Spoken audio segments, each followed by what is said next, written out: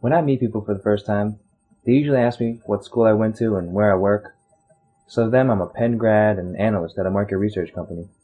Nothing very exciting or unique about that. But once people get to know me better, they're usually surprised to find out that I have a huge passion for hip hop dance. From the moment I started breakdancing in high school until now, I've become more and more involved in dance. In college, I was part of a student run group which became a major part of my college experience, as I ended up directing for two years. After I graduated, I moved out to the Bay Area for work.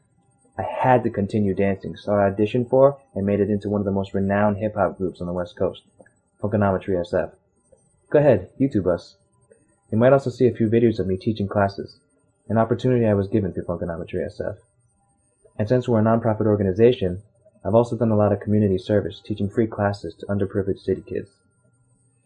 Whether it's through my involvement with my group or busting a new move on the dance floor, people will know how much dance is ingrained in my life.